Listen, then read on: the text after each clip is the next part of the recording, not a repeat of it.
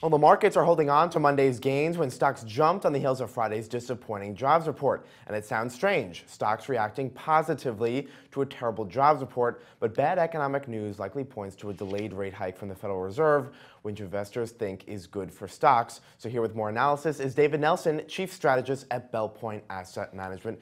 And David, amid all of this volatility and this disappointing jobs report, there were reports that former PIMCO CEO Mohamed El-Erian is actually putting some of his money, or the majority of his his money into cash. What do you make of that? I, I heard I heard his uh, his interview, and it looked like he had he was running some kind of barbell strategy where he's running a lot of cash on one side and uh, riskier investments on the other, even private equity, uh, small uh, venture capital firms.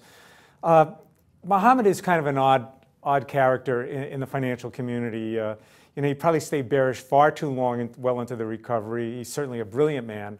So I, am not sure what to make of that. So I'll, I'll leave that to Mohamed to explain it. All right. Now, is running into cash something you would advise, or, or is that sounding the alarm too soon? You know, uh, what, what people tend to do, especially for retail investors and even professionals as well, if you use cash as an, as an asset class and then you go massively into cash because of some, some headline, the question is when do you get back in? Mm. And most people, when you find that you're, you know, you, you know, you see a 5% correction, then you start to think, well, it's going to be 10%. And, and usually what happens is you don't get back in until you're back at, at the new highs, and you actually ended up hurting yourself. There are tactical programs out there, and there are firms out there doing the, those kind of strategies that are rules-based. If you're rules-based and you do it and you can get it right, more power to you. All right, let's talk about the Federal Reserve. You say the Fed may have missed their window for a rate hike. Tell us more. Well, you know, it's pretty clear that they want to do something this year. And uh, as a uh, you, know, former former PIMCO chief uh, Bill Gross said, they want to get off the dime. I suspect they may have missed the golden opportunity because instead of you know raising rates with a backdrop of a rising GDP and rising earnings, now they're faced with the economy kind of hitting a speed bump, and earnings are very suspect, certainly in the first quarter and possibly even the second.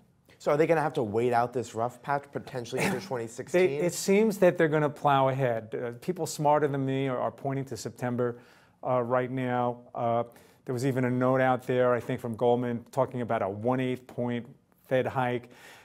The issue is, is probably less about the timing. Uh, the ultimate term, terminal uh, you know, place to where they're going, maybe it's going to be as low as 1% you know. So we're in a different backdrop right now. We're not going back to two, three, or four percent. So it's going to remain lower for longer. All right, and are there sectors that you're looking at right now in the markets and any names within those sectors? Well, the, the sectors that we're still in, and, and uh, we're in most of them, but where we're overweight is certainly technology. Apple has been there for a pretty long time. Avago has been there for a long time in the, in the semi space. A new pickup for us is analog uh, devices. Something that we're doing a little different in the oil space is uh, refiners have been really good to us, but that's starting to roll over, and, and we're starting to, to to, to get out of those positions. We're playing it through uh, Lyondell Petrochemical, LYB. Uh, they're certainly a beneficiary of oil, higher oil prices if in fact we've hit the bottom. But if oil doesn't go up from here, they're probably at a trough valuation and, and, and probably a good, a good, a good place to be to play the space and, and benefit from any recovery that happens. And you say that's a safer way to play oil? I think it is, and we'll find out. Uh, I mean, the stock's well off its highs. It's not down as much as some of the oil service names, but it's a name we like right now. All right, David, we'll leave it there. David Nelson, Chief Strategist at Belpointe Asset Management. Thanks very much for coming in. Thanks for having me. I'm Scott Gamm, and you're watching The Street.